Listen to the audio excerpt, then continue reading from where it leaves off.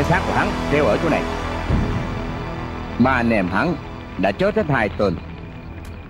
Còn một tên Phải dụ hắn ra đây giết luôn Để trừ hậu quả.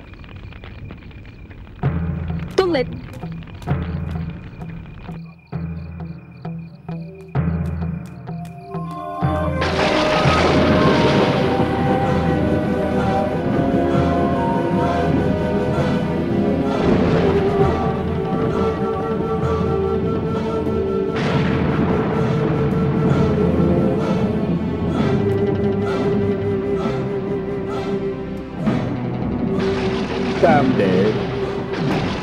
Đã tới trễ Anh đã tới trễ Không ngờ tam đệ cũng chết luôn.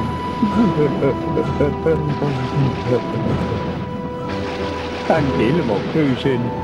Tay không xếp nổi dao kiếm. Không thể trả thù được. Ta cũng không muốn ở lại trên thế gian này nữa.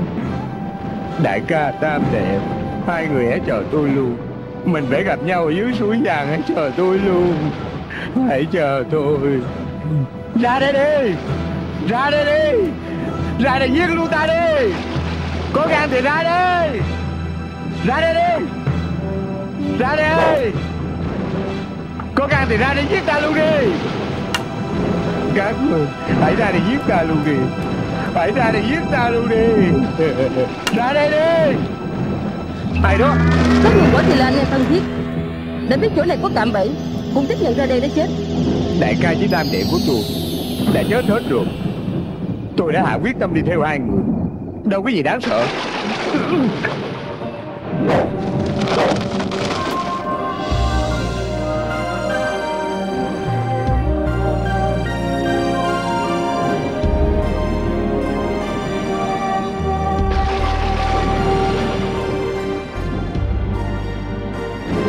Ta thì là không hiểu Tại sao tới lúc chết rồi mà vẫn còn phải dễ dùng. Người nói đúng. Ta không phải muốn chết một cách mờ ám.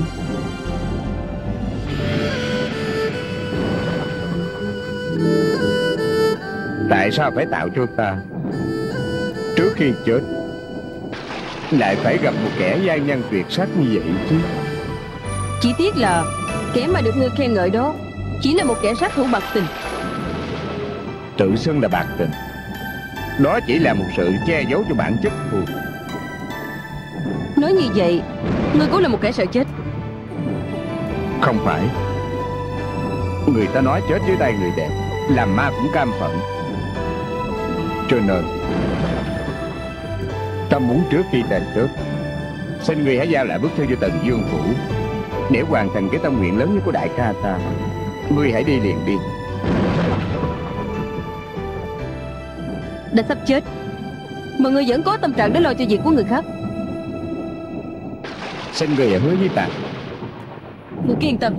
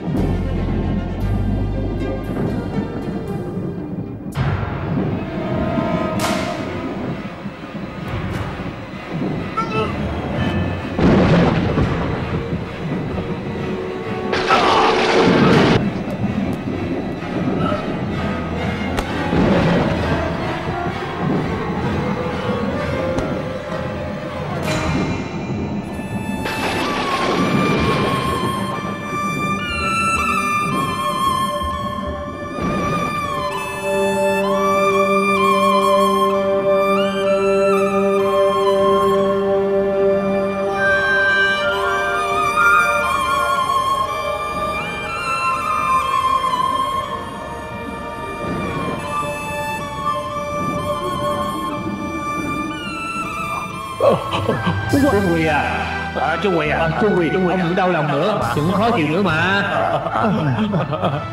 Trung Quỳ à ờ. hai người anh em của ông chuyện ngu quá đi. Đã biết chết rồi mà còn phải tới đó nữa. Bọn hắn không có ngu đâu. Bọn hắn gì giữ danh tiếng cho ta mới chết. Bọn hắn là anh em tốt của ta mà.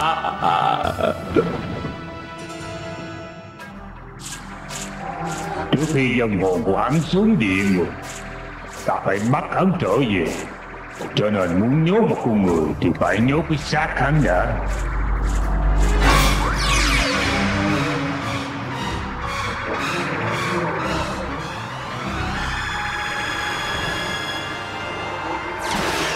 Trốn quê! Chú quỳ, hãy coi ra đây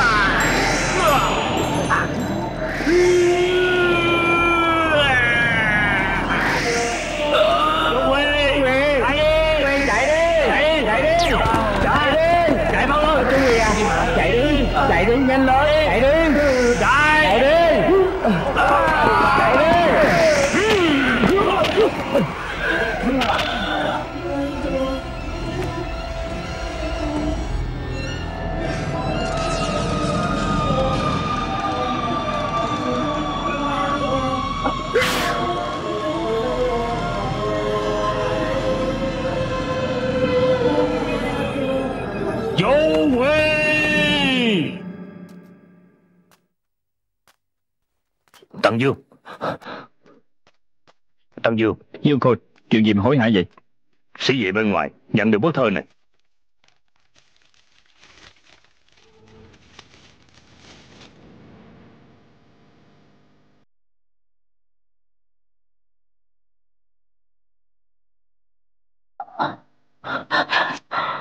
Tần Dương Hại chết bọn hắn, lòng ta thì là đau đớn. Ta không ngờ. Thái tử quá tàn ác Giết chết cả luôn ba người Ta với Trung Quỳ Huynh, trước sau chỉ có gặp mặt một lần. Tiếc là không ngờ. Vậy mà khiến cho bọn hắn chuốc lấy quả vào thân. Ta đã hại hắn rồi. Tần Dương Trong thơ có nói Hy vọng ngài phải hoàn thành cái tâm nguyện trung quyền Để em gái của hắn là Tiểu Điệp Gả nó vào một cách quy hoạch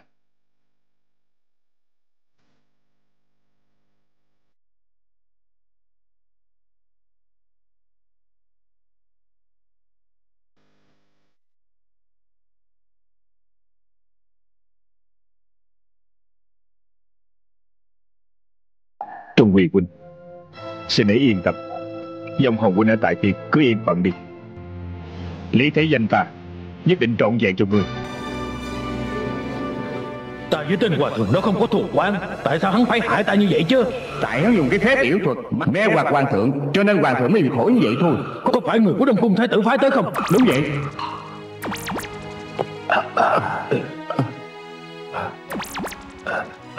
Ờ chết rồi. Lại quên mất à, chuyện gì vậy? hả à, chuyện gì vậy? Em gái của ta sắp lấy chồng. Ồ. Bọn mày không có biết đâu. Khi mẹ ta sắp chết ta hứa với mẹ ta Phải gả em gái ta cho một nhà đàng hoàng. Ta không thể bỏ đi như vậy được đâu. À Ta làm một sự hiệp ước với các người. Bề nào ta cũng chết rồi. À, Trước sau đều phải theo bọn người đi Các người cho ta trở về đó Để ta lo xong cái việc gả chồng cho em ta Rồi trở lại theo các người chịu không? À, sao à, sao? Hả không. Sao hả? Hả? Về đi. Lúc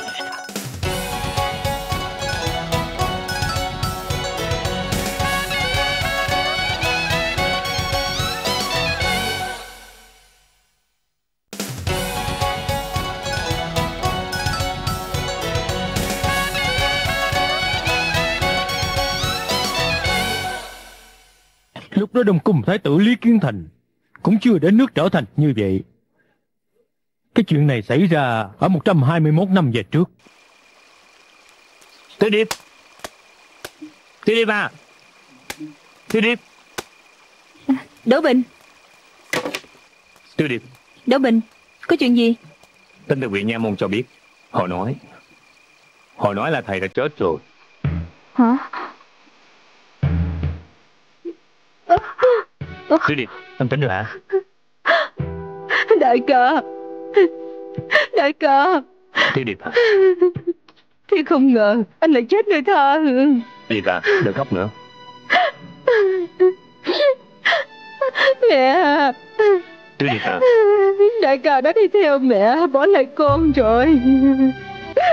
Tiểu Điệp à Em đừng đau buồn nữa Người chết rồi để sống lại được đâu. Em đừng đau buồn mà Tại tại chết của sư phụ.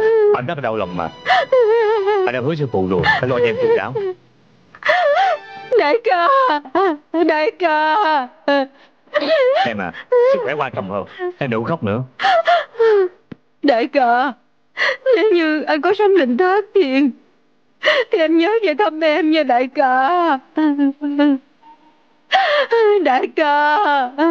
Tiểu Điệp à Em đừng đau lòng nữa Đỗ Bình Em không sợ đâu. Anh đi về trước đi.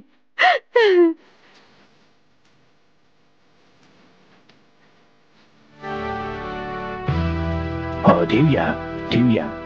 Quản gia Chuyện gì vậy? Lão gia có chuyện yêu cầu lập tức về ngay Vậy được mày đi. Tất cả mọi việc nhờ đại nhân. Đỗ huynh khách sáo rồi. Khó có dịp để cho tôi tận chút khả năng Đó là phước của tôi đó mà. Vậy thì tiểu nhân này chờ đợi tin mừng. Đỗ huynh yên tâm. Ly rượu mừng này chắc chắn tôi phải uống rồi.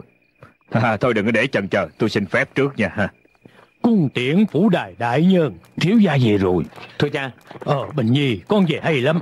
Bài kiến phủ đài đại nhân đi. Học sinh Đỗ Bình Tham kiếp phủ đại đại nhân. Miễn lễ. Đỗ huynh Cái tin hay đó Phải để lại cho hai cha con huynh ăn mừng. Ta xin cáo từ Cung tiễn phủ đài đại nhân.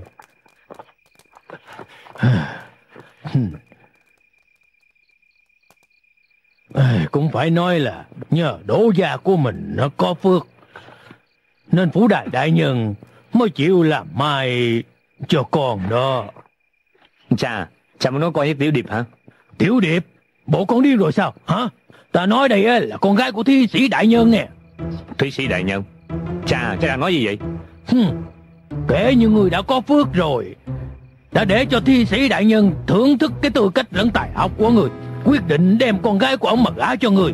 Cha Cha quên rồi sao Con và Tiểu Điệp đính hôn rồi mà Đính hôn cái gì? Hồi nào tới giờ cha chưa có nhìn nhẫn cổ.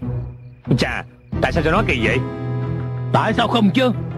Con rể quý của thi sĩ đại nhân Chẳng lẽ không sánh bằng được em gái của một ông thầy dạy chữ hay sao hey, Con suy nghĩ lại coi Cái vụ hôn nhân này á, biết bao nhiêu người khao khát đều không được. Nè con nghĩ lại thử coi.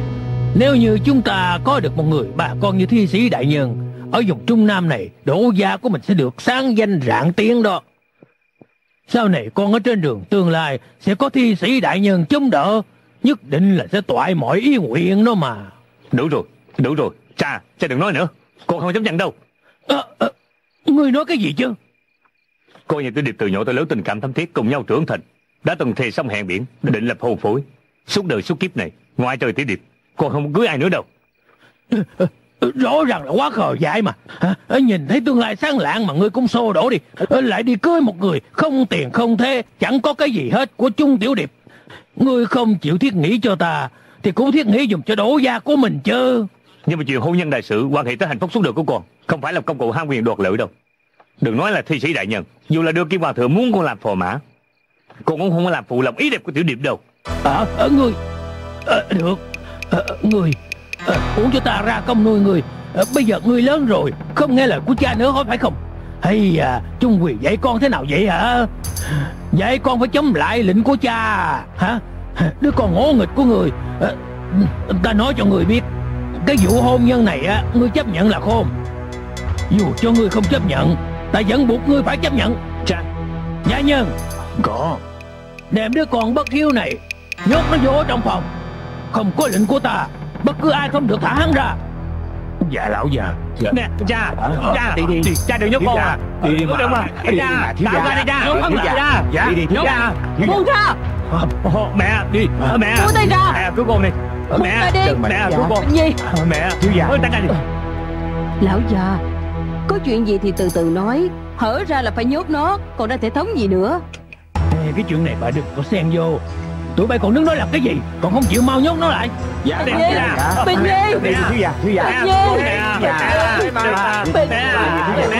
Tôi nói bà đừng có lo tới mà. Tôi nói bà đi vô Đi vô đi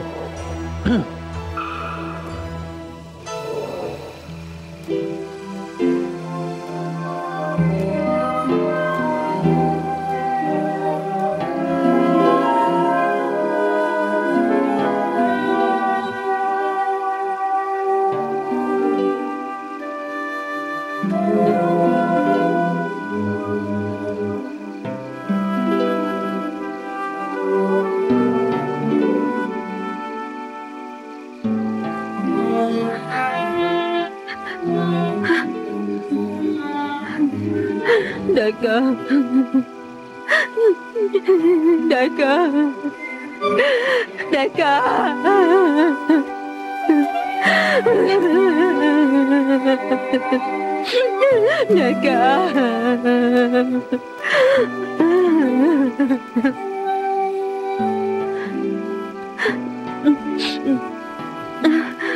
Đồ ba bác Tiểu Điệp à Người chết rồi không sống lại được Đừng buồn nữa. Cảm ơn đồ ba bác Lẽ ra ta không nên tới đây trong lúc này.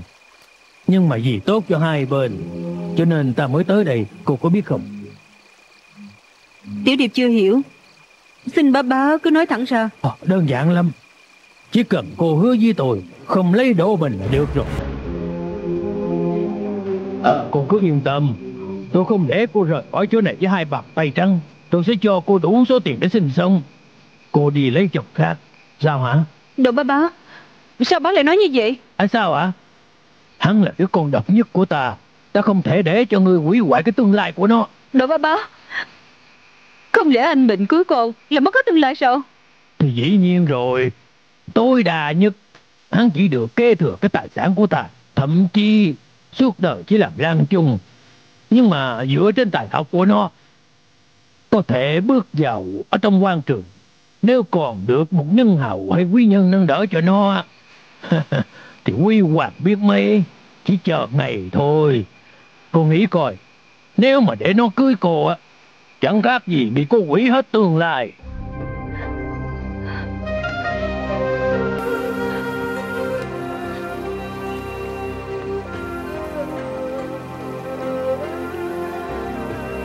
Anh mình đã hứa rồi sao?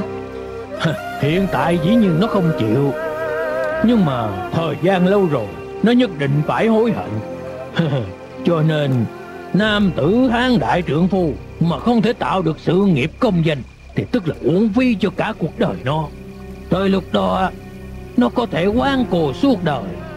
Cho dù cô có làm vợ nó Thì được cái gì đâu. Còn nếu như con không chịu? Trung Tiểu Điệp Ta đã hạ mình năn nỉ ngươi. Ta hy vọng ngươi phải biết thân phận Đừng có quá không biết điều. Còn nếu như không Thì đừng có trách là ta không có nể nhà ngươi. Đồ ba bác Tiểu Điệp cùng Đỗ Bình đã thể sông hẹn biển. E rằng, Chứ không thể tội nguyện cho ba bá được.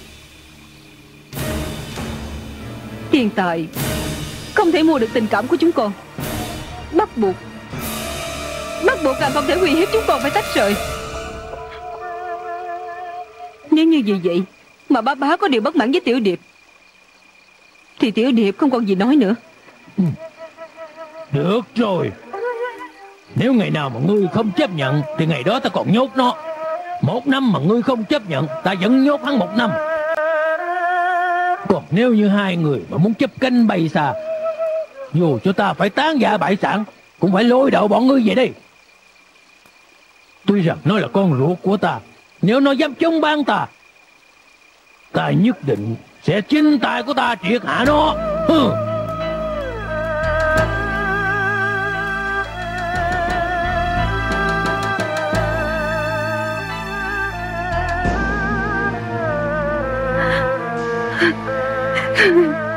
Đại ca Đại ca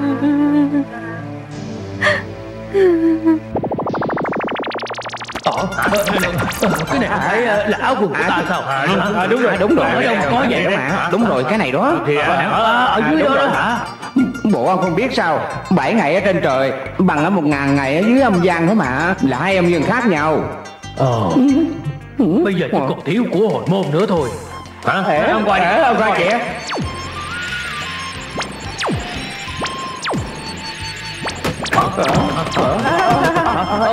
Bà cái thứ này ở đâu mà có vậy? Bụng không nghe nói à, phép ngũ quỷ tại giận sao? Hả? À, ngũ quỷ tại giận hả? À, Là năm con tiểu quỷ tụi bay đó hả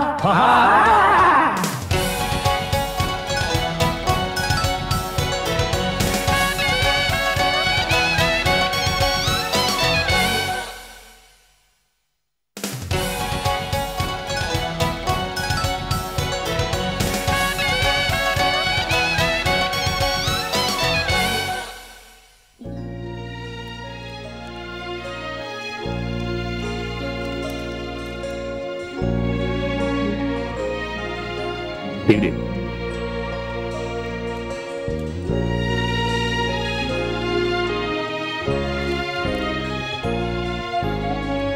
Tiểu Điệp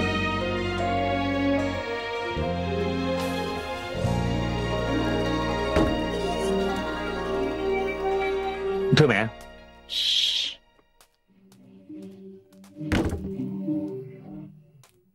Mẹ tới đây thả con ra nè.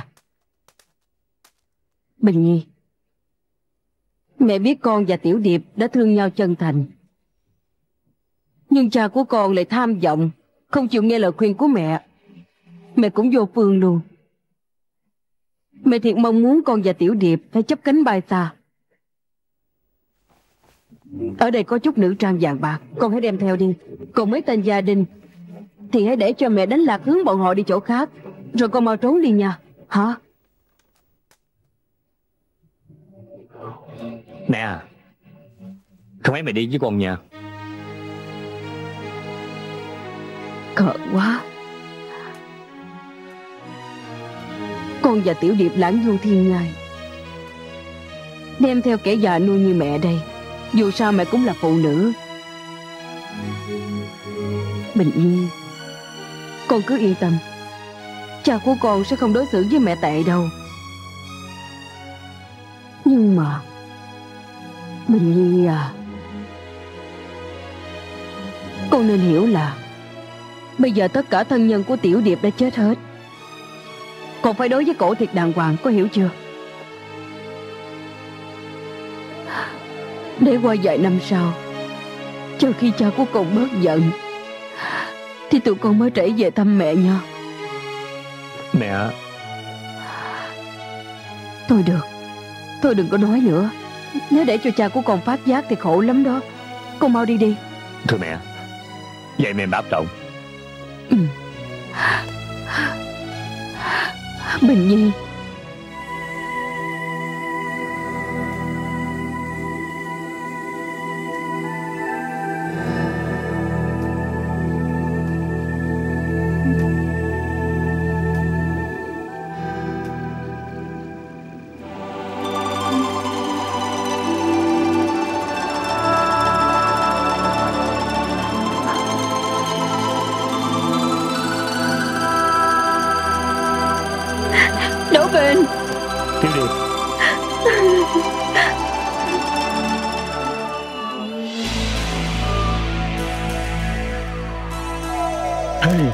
Gia nhân đâu? Lão già chuyện gì vậy? Thiếu gia đâu? Ờ, Dạ không biết. Hả? Ai biểu bọn ngươi rời khỏi chỗ này? Ờ, Là phu nhân. Hả? Khốn kiếp. Hừ. Mau đi tập hợp mọi người Bắt hắn về cho ta. Ờ, Dạ dạ. Mau lên mau lên. Thiếu gia! Thiếu gia! Thiếu gia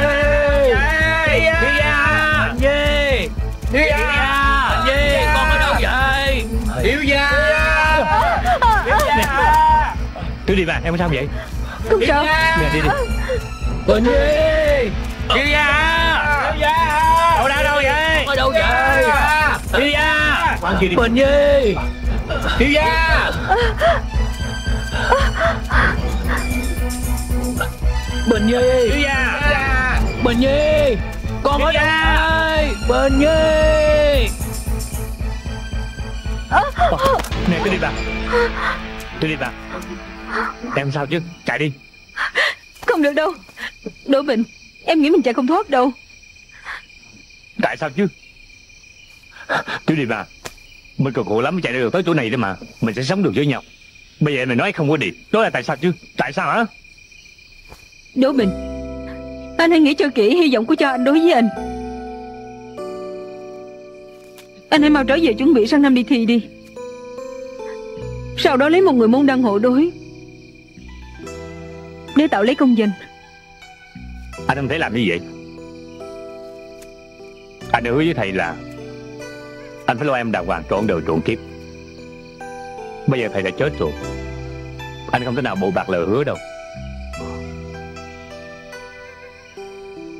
Nè. Tiểu Điệp hả? Em nói cho anh biết. Có phải là cha của anh uy hiếp em hay không hả? Ông làm cái gì hả? Buộc em không chịu trốn theo anh. Em nói đi. Nói đi. Không phải Là do em đã tự hiểu rõ.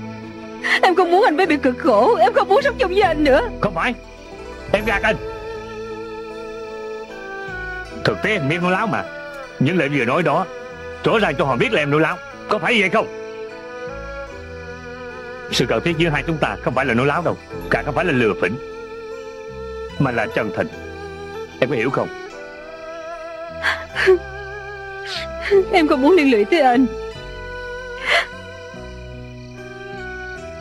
Không lẽ mình có thể thoát khỏi được bàn tay của cha anh sao? Nếu như cha muốn tách rời hai đứa mình Thà là anh chết. Đừng. Tiểu Điệp Nếu như kiếp này anh không cưới được em thì Vậy thì anh sống trên đời này có ý nghĩa gì nữa? Sống để làm cái gì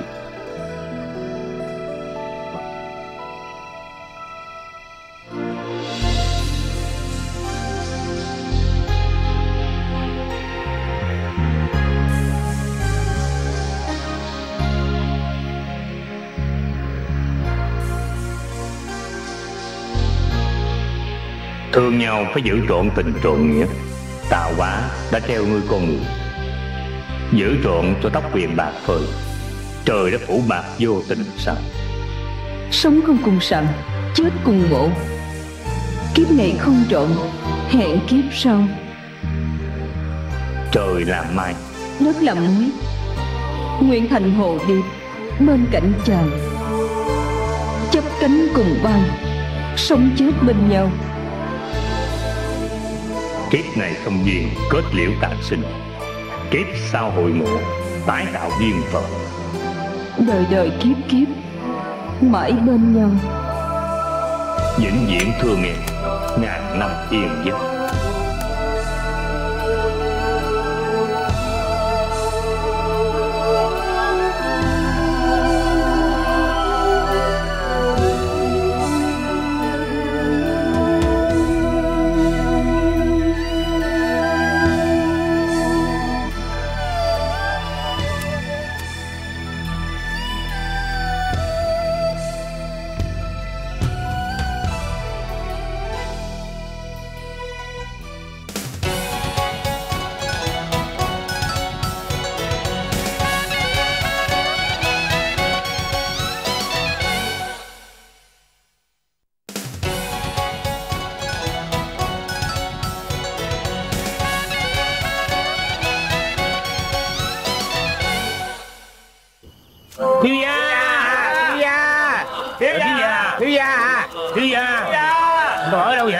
Thiếu gia thiếu gia Thiếu gia Thiếu gia Ờ, lão gia lão gia lão gia. Ở bên kia có hai người nằm ở bên đó Ở đâu đi qua coi đi. Dạ dạ. Đi, Ờ, đi Nhanh lên đi. Ờ, Thiếu dạ. gia Thiếu gia Ờ, thiếu gia Thiếu gia thiếu gia Lão già Thiếu gia đã chết rồi. Con thật là bất hiếu. Cha lúc nào cũng tạo dựng cho con. Con lại dùng cái phương pháp này Để mà báo hiếu lại cho ta như vậy đó hả? Lão già. Ông đừng đâu Lão già. Dạ. Thương nhau phải giữ trọn tình trọn nghĩa Tạo hóa đã theo ngươi con người. Giữ trọn cho tóc quyền bạc phơi Trời đã phủ bạc vô tình sao Sống không cùng sàng Chết cùng mộ Kiếp này không trọn Hẹn kiếp sau. Trời làm mai. Rất lòng muốn Nguyện thành hồ điệp Bên cạnh chàng Chấp cánh cùng mai Sống chết bên nhau. Kiếp này không duyên Kết liễu tàn sinh. Kiếp sau hội ngộ Tái tạo duyên phận. Đời đời kiếp kiếp Mãi bên nhau. Ngày ngày tháng tháng Không xa rời em Đứa con bất hiếu này hả? Dạ, Nó dạ, còn dạ. tưởng ngươi chết Dạ, dạ, sao dạ, cơ? dạ, lão già, lão già Lão già. đừng vậy mà lão già Lão già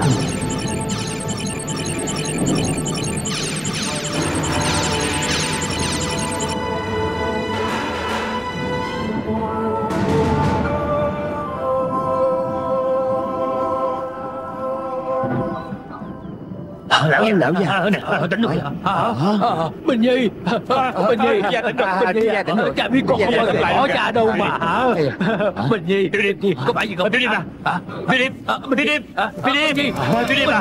Tiểu Điệp à? Tôi dậy đi. À, Tôi dậy đi. À, Bình lại đi mà Tiểu Điệp. Tiểu Điệp Đâu phải đọc đâu. Ờ, Đó là cô bố tôi mà À, Tiểu Điệp à. Dạ. Anh tỉnh lại đi. Tiểu Điệp Tiểu Điệp à Đừng bỏ anh nha. Tiểu Điệp Tiểu Điệp à Nhi. Tỉnh lại đi mà. Tiểu Điệp Dạ. Tiểu Điệp à Tỉnh lại đi. À, thiếu gia, Bỏ anh dạ. mà. Được. Các ngươi làm gì Hả? Thiếu gia. Tôi ra. Buông tôi ra. Buông ra. Buông ra. Thiếu gia. Tiểu Điệp Tiểu Điệp Buông tôi ra. Nè. Tiểu Điệp à Chết nha Đừng có chết Thiếu gia, nha đừng có làm như vậy. Tiểu Điệp à. Đừng bỏ anh mà. Làm gì vậy? Tiền mà, thiếu gia. Buông tôi ra. Thiếu gia. Buông tôi ra. Buông tôi ra. Thiếu gia. Tiểu Điệp Em nói gì? Tiểu Điệp à Dạ. Tiểu Điệp Em đi. Đừng Dạ. Tiểu Điệp à Điệp Tiểu Điệp à Con khốn kiếp này không có ra cái gì. Tiểu Điệp Ây Dạ. Điệp Ờ, Tiểu Điệp à Có mà Có mà Có mà Có mà mà mà Có mà có mà có mà Tiểu Điệp Ôi à, Có mà mà mà Có mà có mà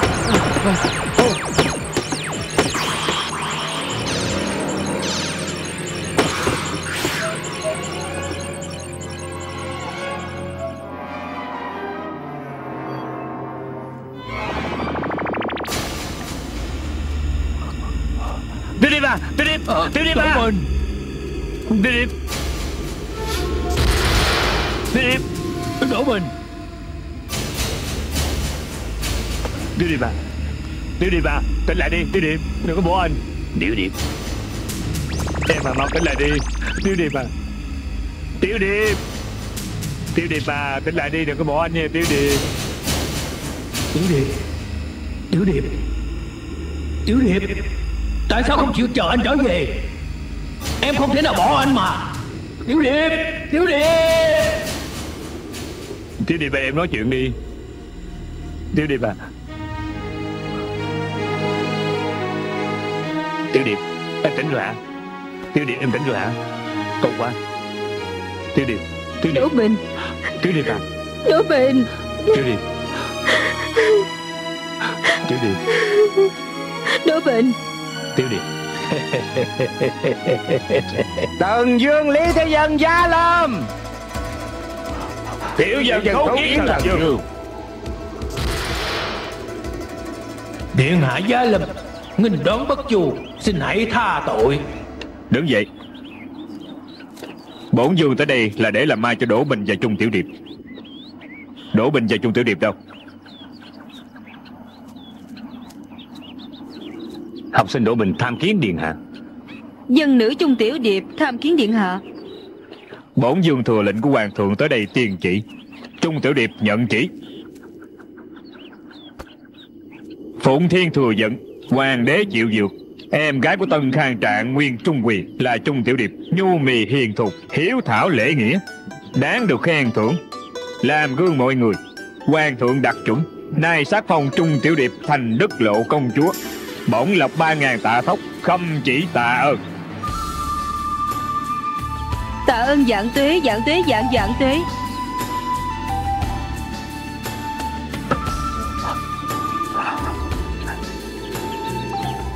Mà cái thứ đồ này Ở đâu có vậy hả?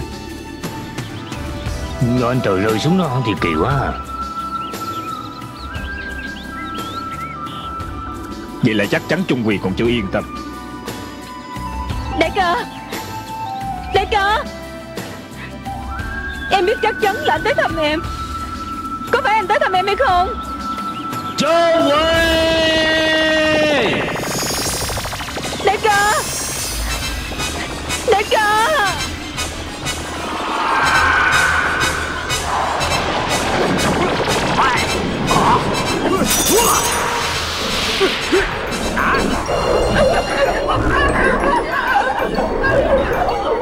你看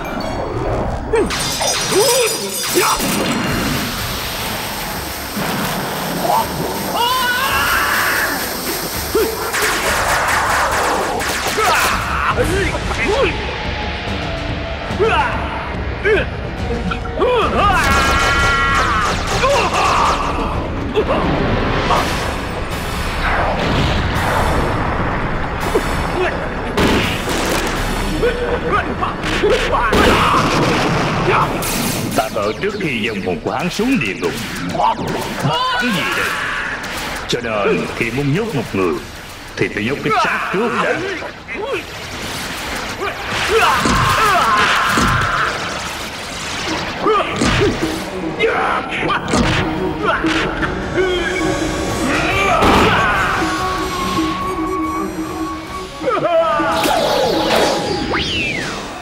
Dòng hồn của thần bị hắn nhốt như vậy đó.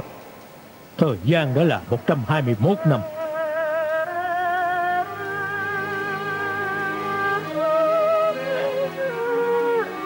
Nếu như không nhờ hoàng thượng cứu giúp, Thần chắc là không thể nào thoát ra ngoài được. Hiền ý. Hiền ý. Đúng là thiên lý tuần hoàn Mọi việc đều có định số. Người trước trồng cây Người sau hưởng bóng.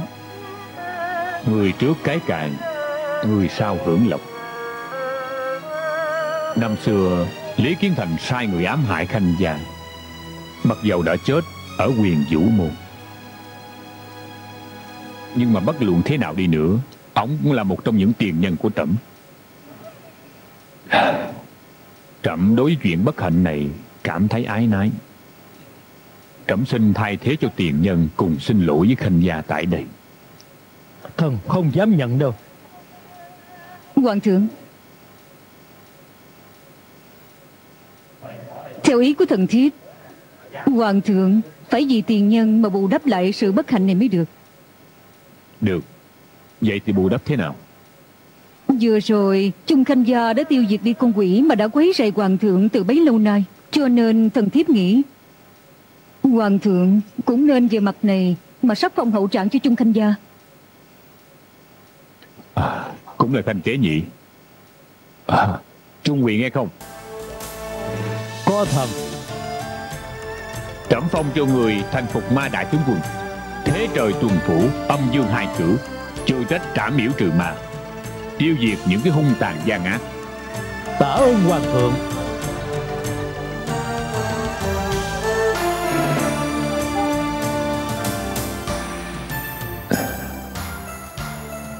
Khanh Gia Mọi sự trịnh trọng. Thần có việc hoàng thượng cùng quý phi nương nương.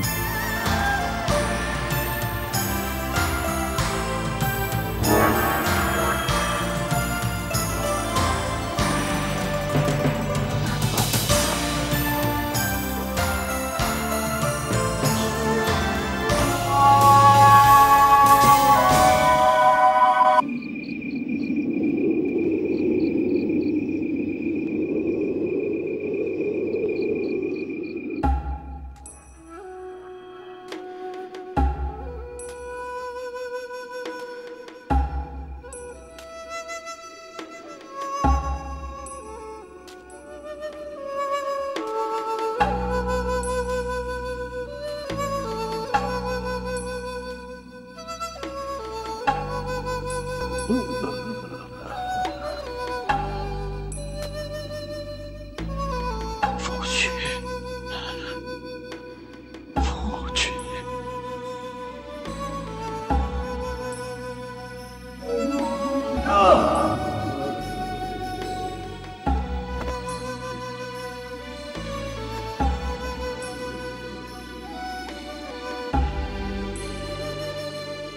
Nam Nhi hỷ khẩn quý can cường. Anh hùng hào tình tố tứ phương. Ngưỡng thiên thấu tận bất bình khí. Trưởng kiếm hoàng vũ Trừ cường lương. Hành hy Đại ca Đại ca. Thì ra là ngươi. Cuối cùng tôi cũng chờ được đại ca rồi. Phú cố Phú cố Người mau ra đây đi! Đại ca trở về rồi nè. Phú Khố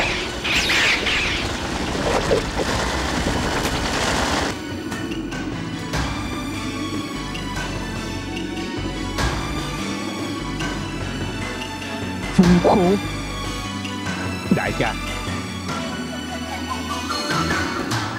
Đứng dậy đi.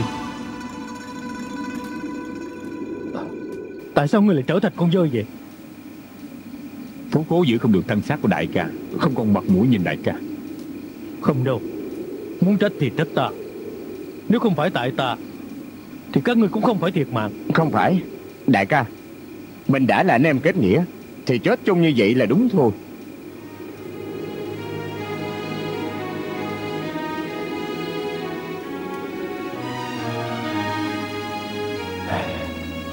Trung quyền vô tài vô đức Mà được hai người anh em thân tình như vậy.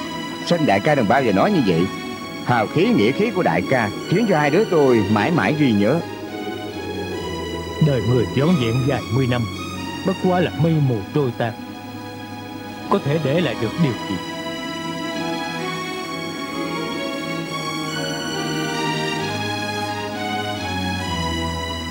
Đại ca Tôi để lại được đại ca cái món này